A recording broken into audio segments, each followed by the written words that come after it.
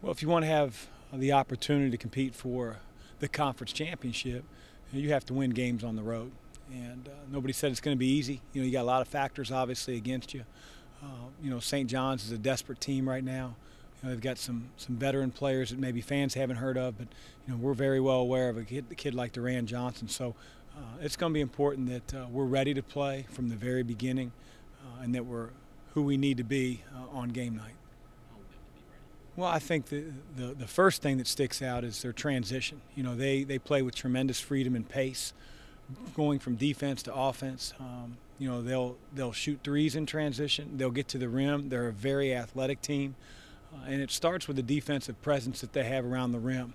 You know, their ability to block shots puts them out in transition. So we have to make sure that we can put St. John's as best we can in the half court um, when they're executing on offense.